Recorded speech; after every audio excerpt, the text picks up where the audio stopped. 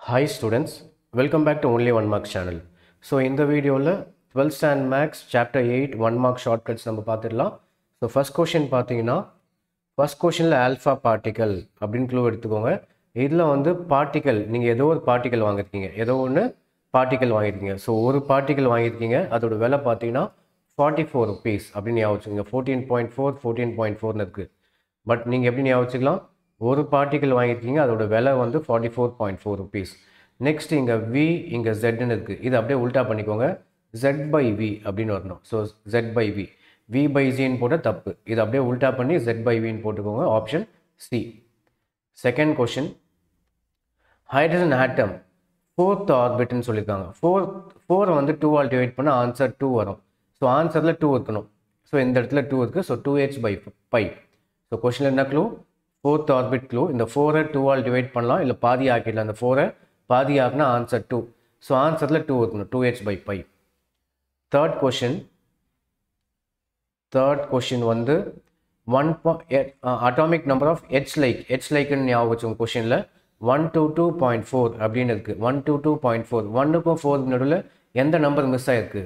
Three miss ஆயிருக்கு. Answer three next fourth question பார்த்தீங்கன்னா ratio between first three orbits of hydrogen atom hydrogen atom இந்த atom three orbits ஞாபகம் வச்சுக்கோங்க ஆட்டம் ஞாபகம் வச்சுக்கோங்க ஆட்டம் பாம் அப்படின்னு ஞாபகம் வச்சுக்கோங்க நீங்கள் தீபாவளிக்கு ஆட்டம் பாம் வாங்குவீங்களா?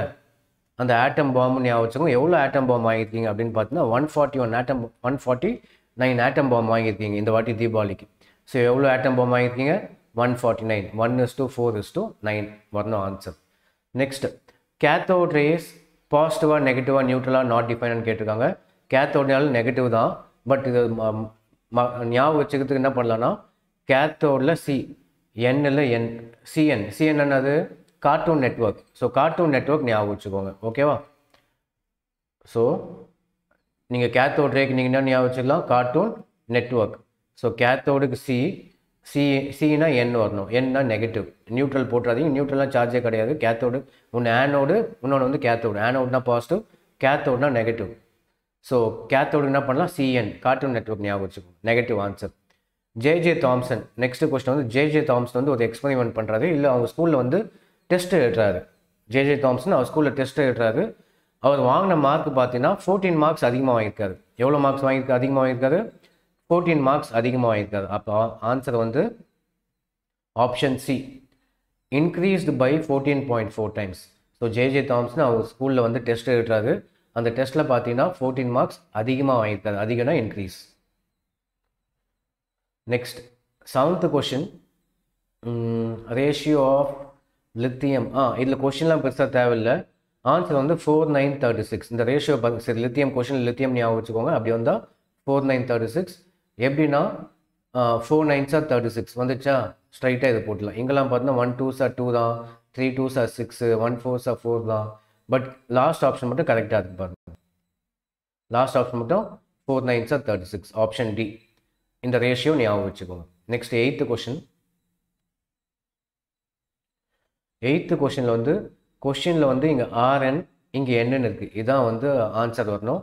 ஆர்என் என் ஸ்ட்ரைட்டாக அதுவே போட்டலாம் ஓகேவா கொஷினில் இதான் ஆன்சர் ஸ்ட்ரைட்டாகவே ப்ரப்போர்ஷனல் ஆர்என் வந்து ப்ரப்போர்ஷனல் டு என் கொஷினில் இருக்க ஆன்சர் எயித்து ஒன்றுக்கு வந்து.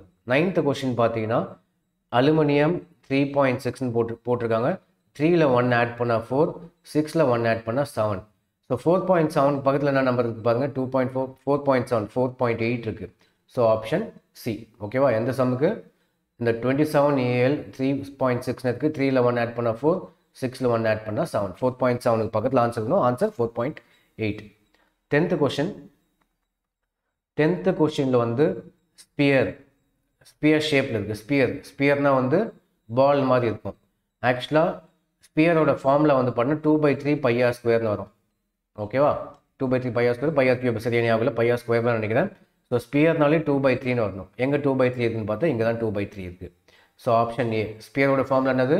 டூ பை த்ரீ பையா ஸ்கொயர்னு வரும் ஏரியா. பட் சரியான ஞாபகம் இல்லை. பட் ஸ்டில் டூ பை த்ரீன்னு வரும்.